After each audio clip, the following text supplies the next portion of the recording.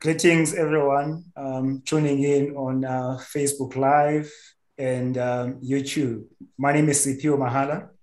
Uh, welcome to the 25th Time of the Writer, organized under the theme Beyond Words Memory, Imagination, and Conscience.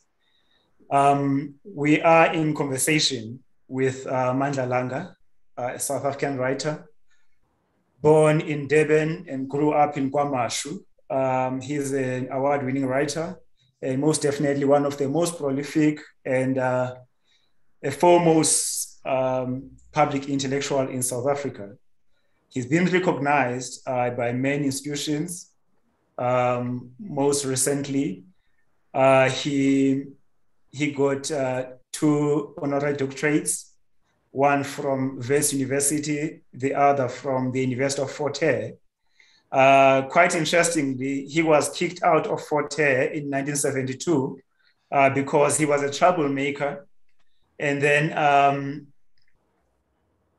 in 2017, he was then honored with, a, with an honorary doctorate. Uh, he's an author of several books. I can't count all of them, but amongst them, I can mention Memory of Stones, uh, The Lost Colors of the Chameleon, Textual Shadows, and the latest one, which will be uh, the subject of our discussion today, uh, is uh, the lost language of the soul.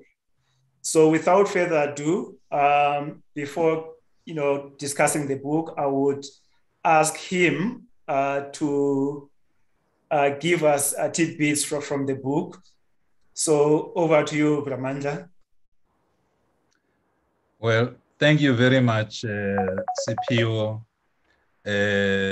for this, uh, for agreeing to doing this. I'm not sure. Do you want me to read or you want me to talk about the book? Yeah, maybe you read first um, and then we will discuss thereafter. Okay. This part I'm reading in the book is a, a part where the young uh, protagonist uh, Joseph, who is 14 years old, uh, half Zambian, half, half South African. He has smuggled himself into a car, a truck of guerrillas who are en route to South Africa, who are crossing the river. And uh, so here now, he has uh, the car is in motion. The stretch of emptiness stares at them. It is relieved by oddly shaped rocks, boulders, and termite mounds on the ground, bleached the color of khaki by the sun. A clump of rocks standing atop others screw their faces like human beings, tasting something bitter. Here, a bent old man with a crescent shaped beard, then an old woman balancing a calabash on her head. With every mile traveled, the shadows grow longer and longer. It is now late in the afternoon. The sun peers redly over the hills, and wisps of clouds are tinged with orange. Scraggy bushes sprout up in places that look impossibly dry.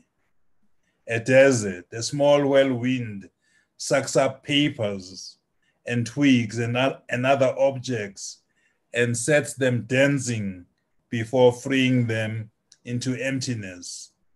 Far in the distance shimmers a lake, which Joseph knows is a mirage. The roads stretches on and on and disappears below low hills to emerge even narrower than before, tapering into a memory on the horizon. The guerrillas are then discussing where they are. They are in Botswana. So, where are we? Joseph asks. He's bolder now that he knows they won't chuck him out, at least for the moment. Out in the sticks in Botswana, Charlie says. He peers in the, at the desolation flitting past. me mawor me di Botswana fangele as net Ian fucking gemors. Yeah, Gwaza says, it's desolate, but at least they are independent, the Botswana. They have a country and a flag, gemors or not. And they are just a stateless guerrilla. Charlie says, at least I'm fighting to win back a developed country. Di Deng Yi. Charlie points out to the spread of scrubland where a piece of farming machinery stands rotting in the sun. Further into the middle distance, a couple of huts and lean-tos have arisen from the ground. A group of curious children watch the car, thumbs jammed into their mouths, Gignet down, and so on and so on. So Charlie is very uh, contemptuous of the, uh, how do you call it, of the Bundu life of the Botswana. That's one of the parts that I really enjoyed writing because as I was writing that, it evoked a memory of the Botswana that I knew when I was there in exile. Well, th- thanks for that, Ramanja. Well, there's many more. I mean, I, I was part of uh, Joseph's journey all the way from Zambia down south via Botswana and finally in, in KZN. And, um, you know, I, I have a lot of questions about that. But before we get there, you are the featured writer of Time of the Writer, the 20, in the 25th anniversary of the festival. What does this mean to you? You know, yesterday when I listened to Dr. Nokuthula Mazibuko Msimang making her um, opening keynote speech and touched on quite a number of very important points about the history of this country.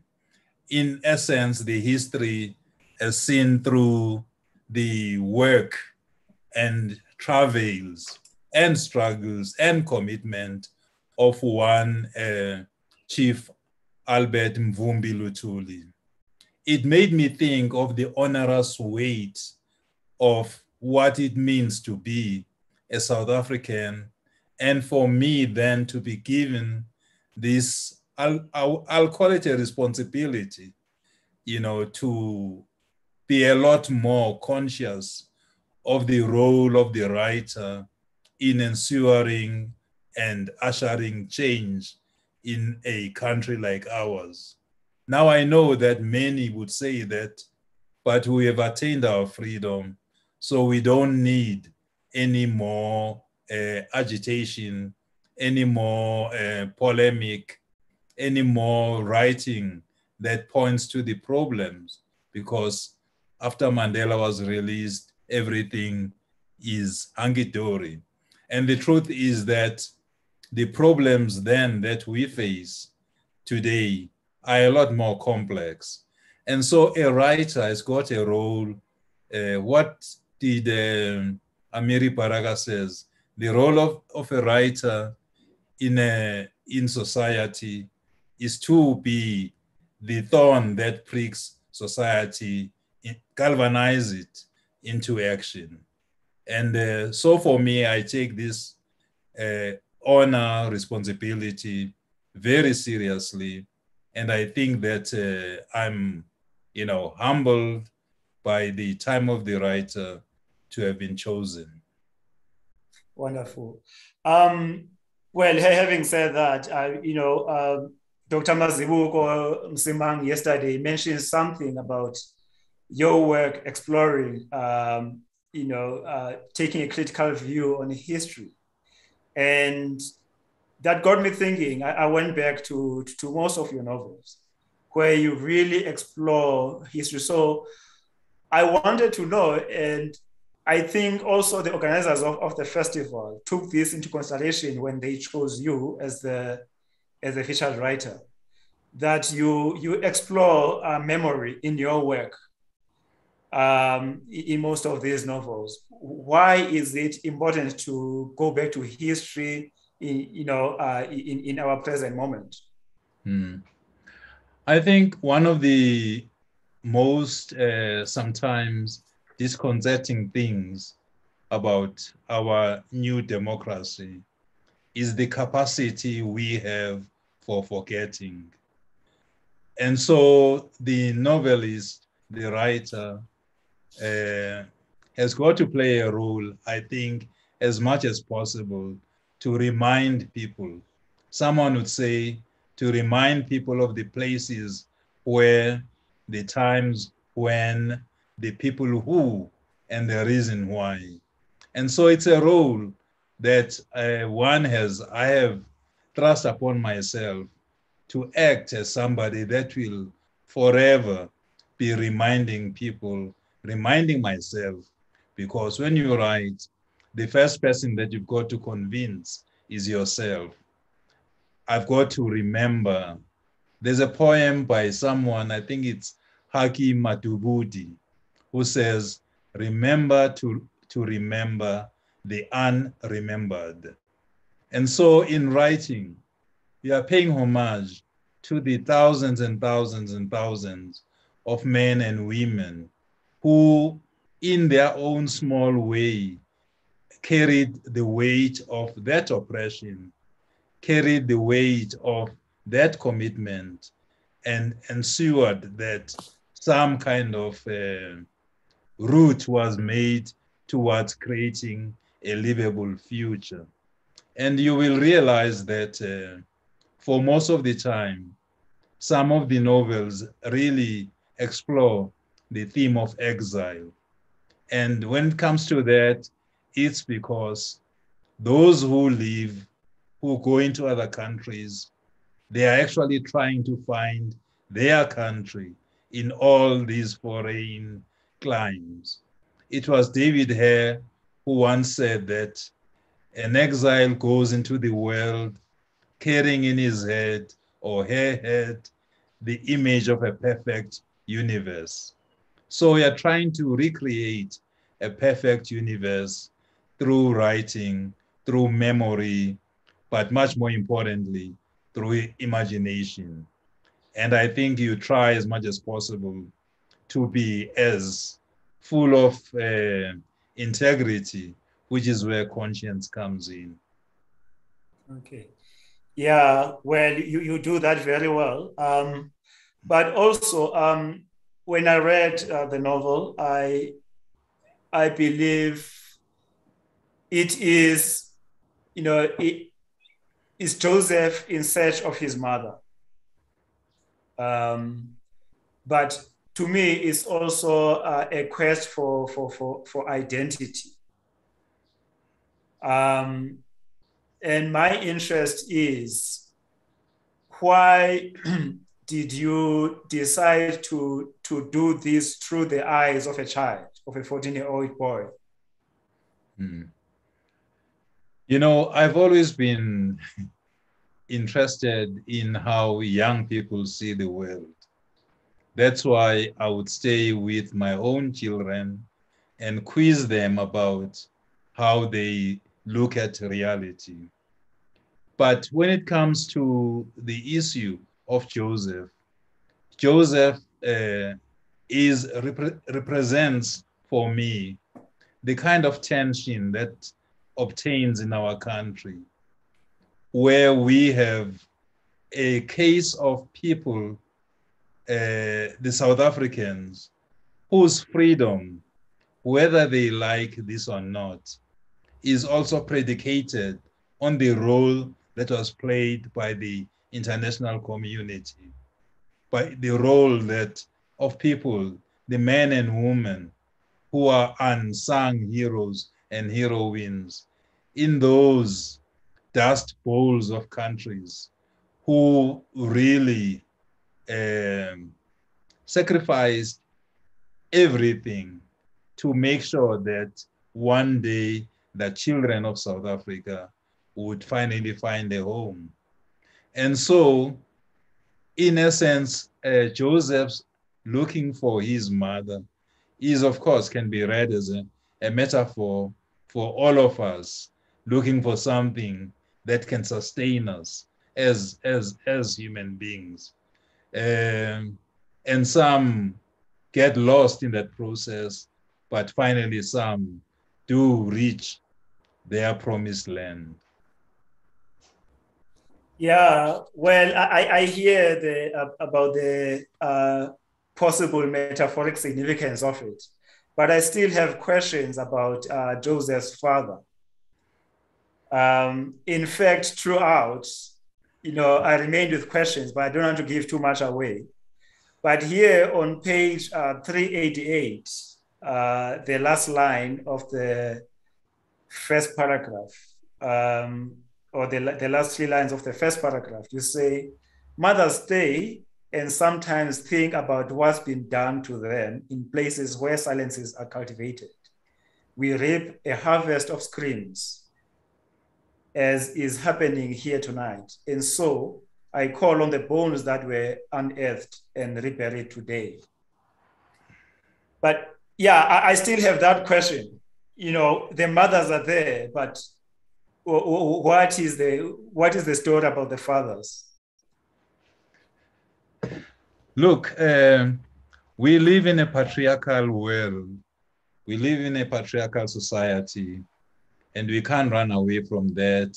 Our role as writers is to invest the mothers, the women, with as much possibilities of agency as, as we can master. And so, uh, even in the liberation movement, I'm hoping that, that this becomes a talking point. What is the role of women? Because when you say mother, everywhere, be it in Kuala Lumpur or in Shanghai. Everybody knows that you're dealing with something that sustains a people, something that ensures longevity, regeneration. And, and fathers, uh, everybody can become a father, but no, very few people can become mothers. So in a sense, as writers, I would want to enjoin us as much as possible to give a much more, much more important role to women uh, for what they've endured and for what they've done and for what they are doing. And so this is my small contribution to that possibility. Thank you. Uh, unfortunately, I, I don't uh, follow the the nomenclature of the of the military? Is it a battalion that uh, the, the, the you know the female character is is leading? No, she's leading a platoon or a squad. It's, it's called a, very, a, platoon. Yeah, we can call it a, a a a squad really because a platoon is something that can be perhaps 20 people and a section can be about nine people or 11. So she's leading a section of guerrillas in pure military uh, uh, parlance. Yeah, well, I I, I say you've you've assumed the the, the, the Patel character now. so your combat name was or still is Patel. How did that come about? When I left Lesotho, uh, after having been in Botswana, I left Lesotho and went to Mozambique. Now, once you're in Mozambique, in fact, we stayed in Matola, in exactly those places which were later uh, bombed by the, by the regime. Uh, you have to have a combat name, and my name, which I was given by uh, another writer, his name is Vusi Mavimbela, but his combat name then was Klaus Mapepa. So he called me Patel, a name that has given me a lot of uh, grief in the sense that it's unmistakably an Indian name or an Asian name. Even the president of the ANC in Lusaka, then uh, President O.R. Tambo once asked me, why do they call you Patel? and he, he really had a good giggle at that. So yeah, that was that was my name. Still is my name. Yeah. Because the struggle is not over. Yes. Oh, thank you, Patel. Um, but but since you touched on your journey um, uh, uh, to exile, I believe it touched in in uh, Botswana. Which, which place? Um, I remember you, you went with, with some comrades, some in the arts, and there is a place where uh, after you arrived, um, you know, one of uh, you, you asked the, the only pair of jeans you had. what happened? No. In which country was that? No, that was actually in in the house of uh, Prawili. We were, we were coming from Nigeria, from FESTAC in 1977. And so I stayed in his house and he had all these books, fantastic books I had never seen before. And I'd washed my pair of jeans, uh, jeans I had worn all the way from leaving the country. And so uh, I was reading something, I think it was a book by LeRoi Jones then, before he became Imam Amiri Baraka. And I was so engrossed in that and my my clothes were being were drying on the edge when I heard this sound, this khushu khushu, you know, this. And then when I looked up, I saw my jeans slowly just taking a walk. And uh, yeah, that was that. I jumped uh, to try and chase this guy and he had both of them under because it was a, a suit under his arm. And i've never seen such athleticism as i did that day. The way he sprang over those. And i i said to myself that uh, there was a tanzanian um, athlete called Filbert Bayi i thought that he must have been possibly trained by him or had been in, in his stable, he was, you end up admiring the efficacy, the efficiency of that escape. There, my genes, yeah, that's how they went. ah, well, I, am sorry, um, uh, Patel went through that uh, experience. Yeah. But um, you, you, also, in some ways, uh, pay tribute to O.R. Tambo. Why is that so? Amongst others, by the way. You know, I think uh, at some stage, some time back, uh, uh, Fidel Castro, when he met with OR, he asked him, How do you manage to have so many thousands of people uh, in camps training in exile without a major upheaval. He said to Tambo, I would never uh, put my Cuban soldiers in the barracks. There would be a mutiny. And Tambo said to him that uh, the most important thing that uh, Fidel Castro should remember is that the people here are political soldiers. They are not just, you know, uh, people that are going to get arms and go and wreak havoc. They are here because of a political ideal. And so for 30 years to have kept a movement in, in, in the way the ANC MK was kept was almost a, a small miracle uh, without it, you know, going uh, asunder. And so he was a person that really listened.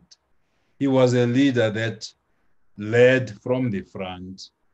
And uh, there was no uh, whiff of corruption or corruptibility. He was uh, an epitome of integrity. And so I felt that South Africa is a country that could have benefited hugely from that kind of leadership. Hence, this homage to him. Okay, great. And you, you describe him as, as a president South Africa never had. Absolutely. yeah, and I see you as the Minister of Arts and Culture South Africa never had. Well, I think that's debatable. so my interest with uh, with this background, having spent so many years in exile and um, having been, uh, you know, in the trenches alongside many other people. I mean, today we, at least you have a, a combat name that we know. There is, a, a, you know, slight evidence that you were in the trenches. Now there are questions about people whether they were there or not, and those issues remain unclear. But why didn't you take up? That's this is my interest. Why didn't you take up a political office after you returned from exile? Why did I not take up a political office? Yes.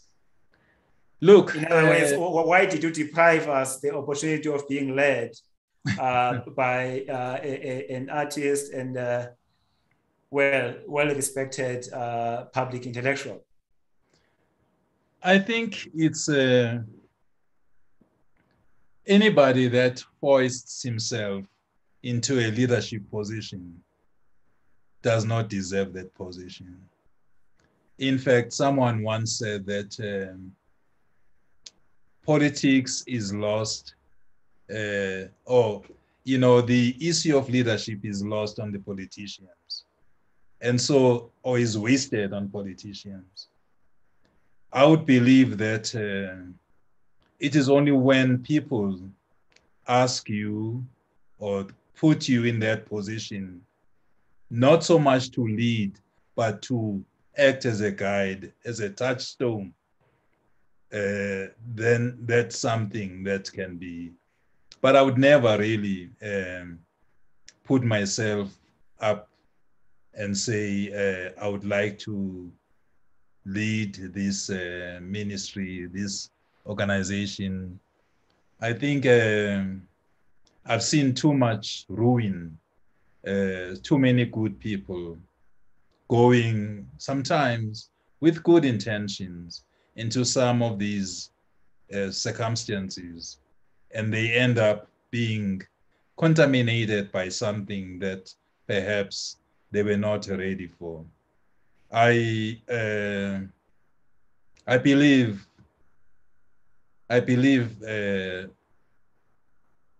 you know, we have a lot of people that are keeping this country steady who are not in positions of leadership, you know. Mm. Yeah, well, I, I think I, must confess that um, I started stalking you in the in the 90s. uh, I was um, I, still a student in the Eastern Cape. You were the executive chairperson of uh, of ICASA. And I was just, I didn't even know at the time that you were a writer. I was just attracted, you know, by your uh, calm demeanor and uh, obvious intellect. And I always look forward to, to your interviews in the news. so, but yeah, um, back to to to to uh, the story, the lost language of the of the soul. You know, what scared me, I really got scared uh, when reading and getting an impression that there could be people in the high echelons of power who are, you know, uh, who, who were actually uh, agents or enemy agents uh, back in the day during the liberation struggle. How possible is that? You know, one of the one of the things we need to remember uh, at some time there was there used to be a minister in the apartheid cabinet called Magnus Malan. I think he became at some stage a minister of defense. And he was somebody that had been trained by the best, so to say, intelligence uh, apparatuses and institutions the world over, whatever, West Point and the rest of it. So he knew the military, he knew security, he knew counterintelligence, etc. And one of the things he wrote about was to say that politics, the way politics in South Africa can be won, uh, it's 80% uh, non-military and 20% military. Now, the non-military aspect consists of a number of features, including intelligence. Now, if you look at the at the at the budget of BOSS, the Bureau of State Security, or the of the you know all the money that they had, they had more money than some smaller countries, you know, GDP of small countries on the African continent. Where, what was that being used for? That was being used to make sure that the problem that we presented as part and parcel of the liberation struggle would one day, that problem would one day turn around and smite us. And what we're seeing today, we're seeing the fruits of the investment that the Magnus Malans and them put in making sure that they have people who are going to always make sure that the project of liberation gets to be frustrated somewhere along the line. Because right now, all of us are busy clawing at each other. And if you look at that very seriously, you must say to yourself that this can't just be because black people are unable to run their their their issues. There must be something that is fueling this. Just last year in July, July 12, we had the, you know, that conflagration. For me, I might be wrong, but for me, that thing could not have just ignited out of nowhere, you know, or sprouted up like mushrooms after a storm. There must have been something that fueled that. So these people took a long view. They took a long view. They work in the same way as, for instance, either the Chinese or any other country that takes itself seriously. That we've got a 30 year um, view of where we want to be. And in those 30 years, something that they planted a long, long time ago, you know, uh, gives fruit. So we really do need to think very seriously where we are, what kind of people have been posing as our leaders who might have been one way or the other uh, infected by exactly the largesse of the Magnus Malans. Well, um, perhaps I should have uh, declared this up front. The street I live in is, is named after Magnus Malan. and I was never an enemy agent. I was too young. um, yeah, but talking about this, Bra Mandla, you, you there is somewhere where you actually captured it so well in the book. I'll find the the the, the extra because I did mark it. But uh, you also have a, a, personal story to tell uh, in relation to this. Um, your family was affected by, by such things. Hmm. Do, do, do, you mind sharing? Well, I think that uh, uh I'm I'm always uh, dismayed whenever people point to others as enemy agents, because in our family this is something that uh, happened when one of my brothers, Ben, who was a, uh, a much more committed person than even I. Uh, we were out in Lusaka when we heard that he had been shot dead. And uh, the long and short of the story is that Ben was killed by two members of MK. Uh, and one of them was somebody who had been in the camps with me in my section, and I was his section commissar. Mm-hmm. And so, and he came from KwaMashu. And so Ben gets killed uh, because he has been tagged an informer or an enemy agent. Much, much later, it transpires that the person that labeled him thus was himself working for the enemy. In fact, could have been responsible for a lot more deaths, including the, the, the massacre that happened in Matola, the raid that happened in Matola. He was based in Swaziland. And so when he gets to be uncovered, he gets interrogated and dies under interrogation. So, in essence, for me, it means a lead to something much more important was lost.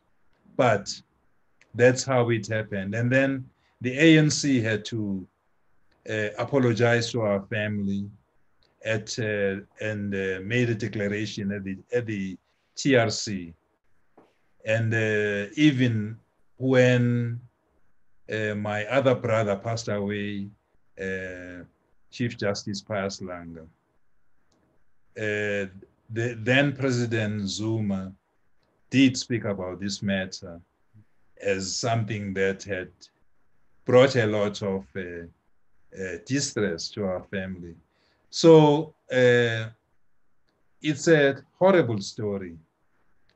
It's a horrible personal story, but it's also a story that, in a sense, made me attuned to the issues of betrayal, to the issues of um, what you see might not necessarily be what you get, insofar as the kinds of people that we run with, we walk with, who are part and parcel of this journey that we have taken. Wow, thank you. I'm, I'm sorry about that, Bra Mandla. Um, but you have another brother, uh, Abe, uh, sorry, um, Abegi. Mm. Yeah, so at some point, uh, the three remaining brothers had dreamed of becoming, uh, of having a law firm uh, called uh, Langa, Langa and Langa. Langa, Langa and Langa. Yes. And what happened to you? You, you just about the only one who, who never really had a, a real job, end up uh, busy with words. No, uh, well, I, I really did want to become a lawyer at some stage, but then I saw all the law books, which are full of footnotes and citations, and uh, I, I, I really never. So at Fort Hare, I did arts, English history, political science, and uh, and so forth. So I jumped ship really when it comes to Langa and Langa and Langa. Yeah, um, there are some comments, so please keep them coming. We will read them uh, and, and, uh, and um, ask questions if there are any questions. Uh, but Bra Mandla, talking about um, your education, your studies were obviously interrupted in, uh, in 1972. And, um, but despite that, you got honorary doctorates from two different universities why did you see the need after having gotten all of uh, uh, you know those adulations? Why did you see the need to then go and, and study towards a master's degree, um, which I believe this book is a product of your master's program? mm. which you got from the University of, of uh, Witwatersrand. Right. You know, I, I, I, I'm always of the belief that you, you have to be learning until you die. And the minute you start thinking that you've got all the answers is the minute that you start to die actually, or your brain starts dying. Uh, as a writer, I mean, I've been writing for God knows how many years. And I believe that I've accumulated quite a sizable number of bad habits in writing. And so uh, the Wits uh, master's program was an, uh, a wish on my side to put myself within certain strictures of discipline to find out what it is that also I can be taught, I can learn from others. And it was a very, very important uh, cause in the sense that I was with a lot of young people, young writers from very, very different backgrounds. And the feedback uh, that you get from people and the feedback that you give to people uh, was important in the sense that something organic was being built in that encounter of, of, of that master's program. And uh, if there would be a possibility to do that again, I would do it. Uh, possibly looking at other aspects of writing because it's such a vast field with ever so many different features that, uh, I, for instance, I would like to look at what people who write flash fiction, what is it that they do? People that write anthropological fiction or who write science fiction, what, what makes them tick? And so the, this, I think it's a lifelong possibility of getting uh, to understand and getting to understand others is the best way of getting to understand yourself. Wow. Well, I hear you are talking about flash fiction, but um, I believe you owe us an autobiography. When are you gonna? When are we getting it? you know, I, if there's one thing, I think it was uh, some other writer. I can't remember who it was who said that she's got a big problem with anything that has got to start with her using I. And uh, so I also am not an I specialist. I really, really struggle with the first person narrative. It's only now I'm working on, a, on another book that I'm using the first person narrative I've always sublimated my own experiences in the experiences of others, characters, etc., as I do believe most writers do. So it will take me, I don't know, a heck of a long time before I really sit down and say, I was born in Stanger on such and such a day. My father was a minister of religion. I don't know. and and what happened to you um, but anyway we'll talk about that some other time. But yeah um, well I, I, do believe that you your personal story is important. We get glimpses of it in your work.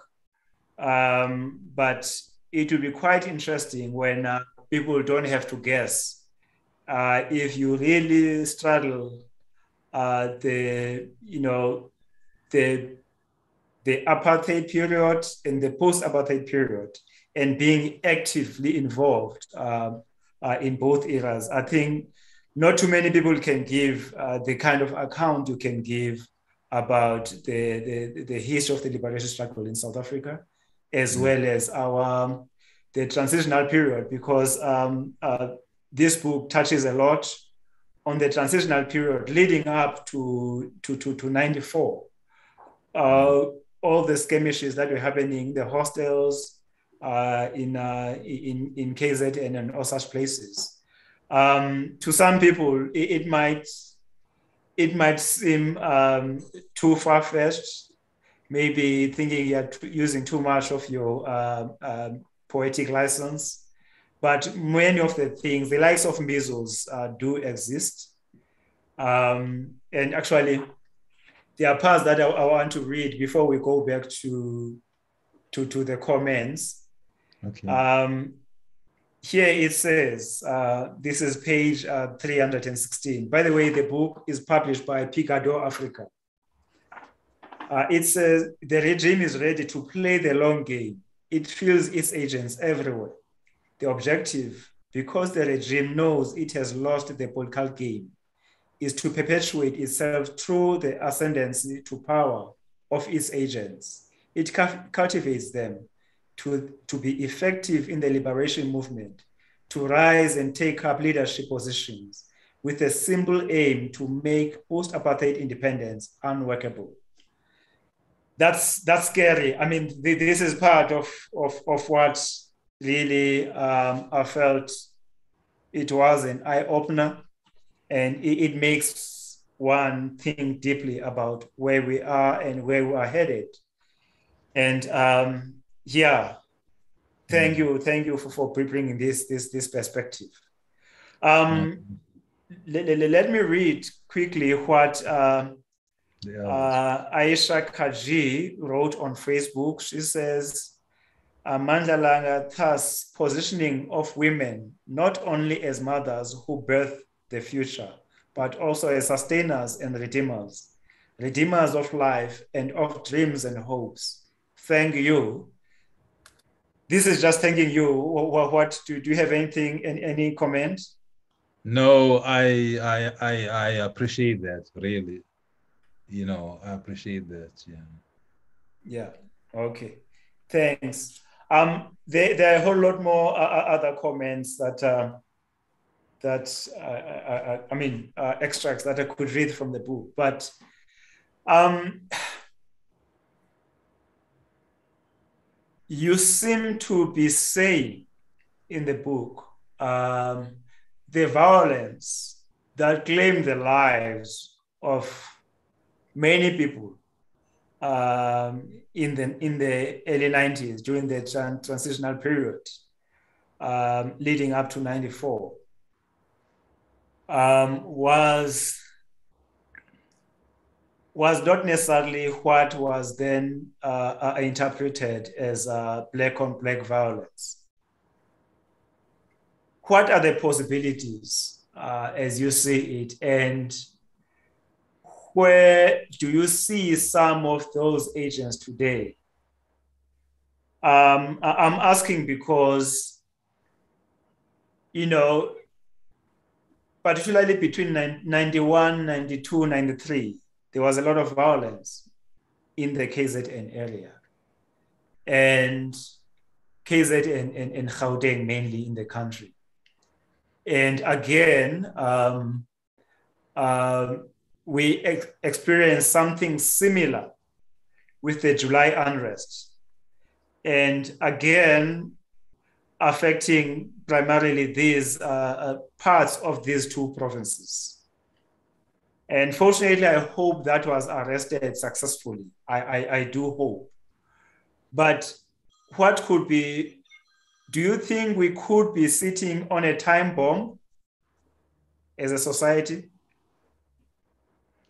Uh, I believe that um, if we don't go and explore, you know, and dispassionately the reasons why certain things happened in the past, we will forever be menaced by these um, circumstances, these events, these violations. I believe that, um, for instance, when the Truth and Reconciliation process, there was hope that it would also become a lot more, um, you know, it would investigate and really become forensic in a manner that uh, would apportion uh, culpability exactly where it needed to be apportioned. But what happened was this became very patchy and and I think ultimately unsatisfactory. I think there's a phrase which I think James Baldwin used in uh, uh, The Devil Finds Work, where he speaks of violence and speaks of the issue of blood cries for blood. The fact that uh, as we sit here, many, many, many people who could be in situations like mine, where there was wrongdoing and there was no redress. In such situations, you will find people then uh, trying to find blundering into ways of trying to deal and with the redress themselves.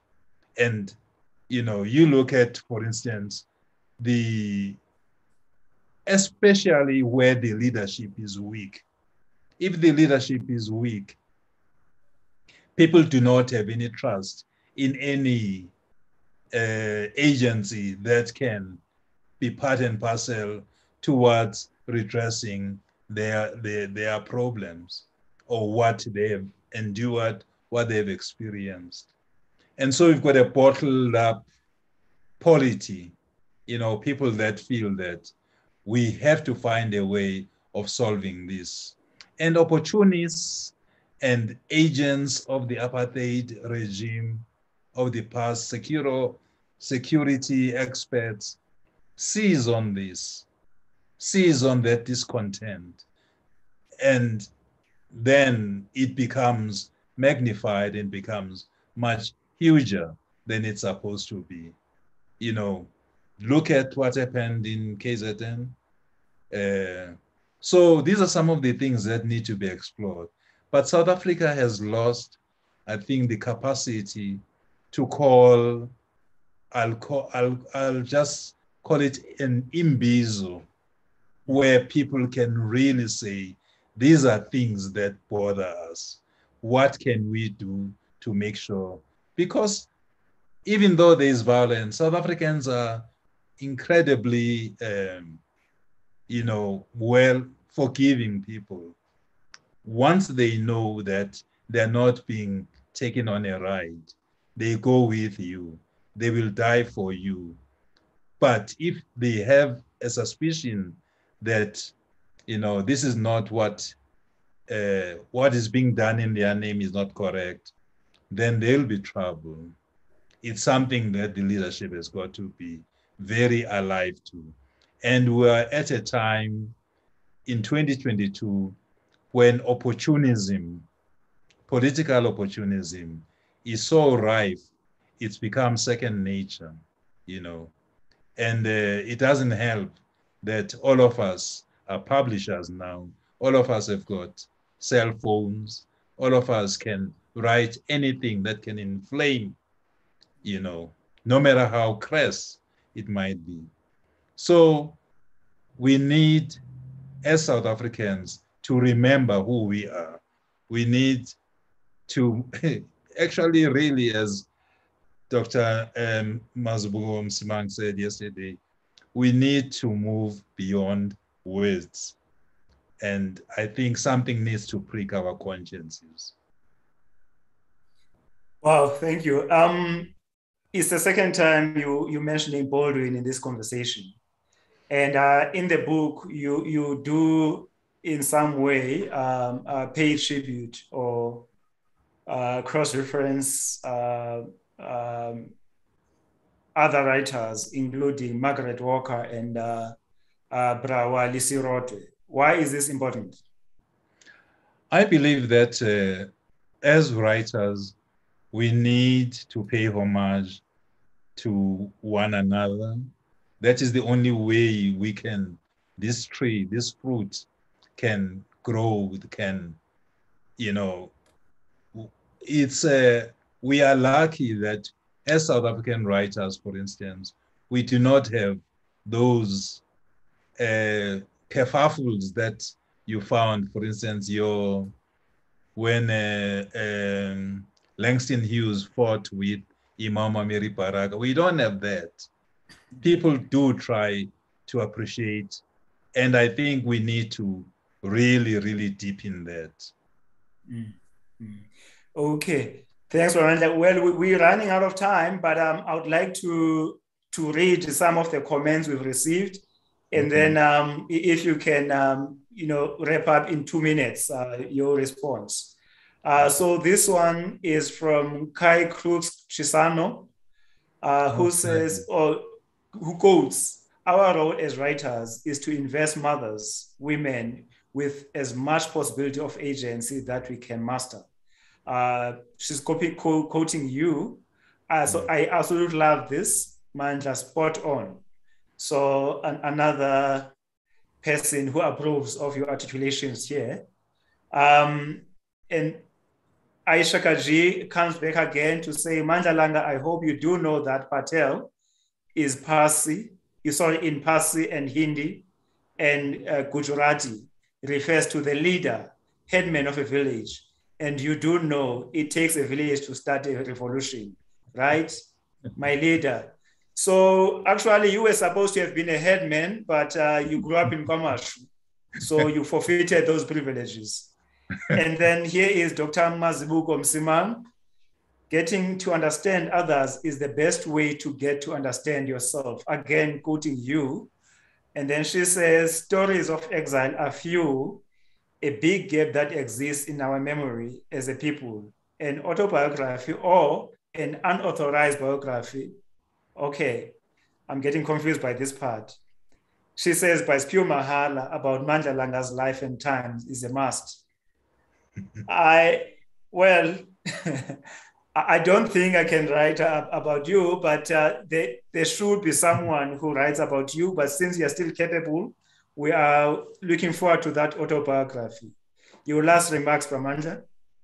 No, I welcome the possibility of you writing the the biography, Siphiwo, and uh, I'll give you whatever help you need.